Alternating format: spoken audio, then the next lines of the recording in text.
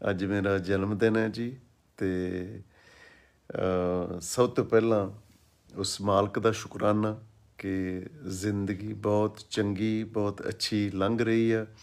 ਵੱਡੀ ਗੱਲ ਇਹ ਹੈ ਕਿ ਤੰਦਰੁਸਤੀ ਹੈ ਜੀ, ਸਿਹਤ ਠੀਕ ਹੈ। ਫਿਰ ਮਾਂ-ਬਾਪ ਜਿਨ੍ਹਾਂ ਦੀ ਜਾਂ ਘਾਲਣਾ ਜਿਨ੍ਹਾਂ ਦੀ ਹੱਲਾਸ਼ੇਰੀ ਬਚਪਨ ਤੋਂ ਸਭ ਤੋਂ ਔਖਾ ਕੰਮ ਬੱਚੇ ਪਾਲਣੇ ਆ ਜੀ।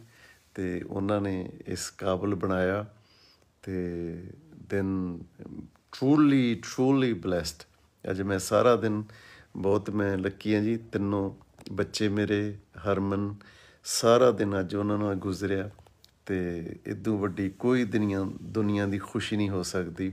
ਸੋ ਸੋ ਸੋ ਹੈਪੀ ਰੱਬ ਦਾ ਮੈਂ ਸ਼ੁਕਰਗੁਜ਼ਾਰ ਹਾਂ ਔਰ ਬਹੁਤ ਪਿਆਰੇ ਪਿਆਰ ਫੈਮਿਲੀ ਵੱਲੋਂ ਮਿਲਦਾ ਬੱਚੇ ਹਰਮਨ ਹੁਰੀ। ਮੇਰੇ ਤੇ ਸੱਚੀ ਮੇਰੇ ਲਈ ਬਹੁਤ ਆਪਣੇ ਪਰਿਵਾਰ ਵਾਂਗੂ ਹੀ ਮੇਰੇ ਦਿਲ ਦੇ ਬਹੁਤ ਨੇੜੇ ਉਹ ਹਜ਼ਾਰਾਂ ਫੈਨਸ ਇੰਨੀ ਮੁਹੱਬਤ ਕਰਨ ਵਾਲੇ ਸਾਰੇ ਜਿਨ੍ਹਾਂ ਨੇ ਅੱਜ ਸਵੇਰ ਤੋਂ ਬਲਕਿ ਰਾਤ ਹੀ ਜਿਉਂ ਮਿਡਨਾਈਟ ਹੋਈ ਤੇ ਤੁਸੀਂ ਸਭ ਨੇ ਉਹਦੀ ਅਹ, ਇੰਨੀਆਂ ਦੁਆਵਾਂ ਭੇਜਣੀਆਂ ਹਰ ਇੱਕ ਸਾਲ ਮੈਸੇਜ ਕਰਨੇ ਸਪੈਸ਼ਲ ਸਾਰੇ ਜਿਹੜੀਆਂ ਪੋਸਟਿੰਗ ਤੁਸੀਂ ਕਰਦੇ ਹੋ ਪੋਸਟ ਵਗੈਰਾ ਬਣਾਉਣੇ ਹੋ, ਇੰਨੀਆਂ ਸਪੈਸ਼ਲ ਤੋਂ ਦਿਲ ਦੀਆਂ ਗਹਿਰਾਈਆਂ ਚੋਂ ਮੈਂ ਤੁਹਾਡਾ ਸਭ ਦਾ ਦਿਲੋਂ ਧੰਨਵਾਦ ਕਰਦਾ ਕਿ ਤੁਸੀਂ ਹਮੇਸ਼ਾ ਇੰਨੀਆਂ, ਹਮੇਸ਼ਾ ਯਾਦ ਰੱਖਦੇ ਹੋ। ਤੁਸੀਂ 30th ਦਸੰਬਰ ਕਦੇ ਭੁੱਲਦੇ ਨਹੀਂ।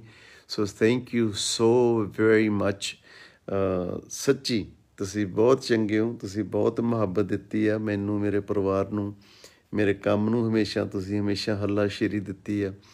ਤੇ ਬਸ ਮੈਂ ਤੁਹਾਡਾ, ਸੱਚੀ ਮੈਂ ਸਪੈਸ਼ਲੀ ਤੁਹਾਡਾ 2 ਮਿੰਟ ਧੰਨਵਾਦ ਕਰਨ ਲਈ ਮੈਂ ਲਾਈਵ ਹੋਇਆ ਯਾਰ ਕਿ ਇੱਕ ਇਹ ਹੁੰਦਾ ਕਿ ਹਮੇਸ਼ਾ ਇੱਕ ਟ੍ਰੈਡੀਸ਼ਨ ਹੈ ਕਿ ਫੈਨਸ ਘਰੇ ਆਉਂਦੇ ਆ ਔਰ ਬਹੁਤ ਵੱਡੀ ਗਿਣਤੀ ਦੇ ਵਿੱਚ ਤੁਸੀਂ ਇੱਥੇ ਮਹਾਲੀ ਪਹੁੰਚਦੇ ਹੋ ਤੇ ਸਾਰੇ ਮੈਨੂੰ ਮਿਲ ਕੇ ਜਾਂਦੇ ਹੋ, ਬੜੀ ਰੌਣਕ ਲੱਗਦੀ ਹੈ ਇੱਥੇ।